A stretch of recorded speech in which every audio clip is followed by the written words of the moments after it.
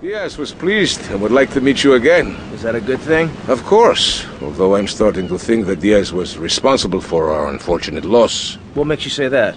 One does not wave accusations at a man like Diaz. I'm merely thinking out loud. No matter. I have a proposal that you could profit I don't have time to run more errands, Cortez. I would have thought a man with such dangerous dates would be hungry for opportunities. Please, Tommy, at least hear me out. Go on.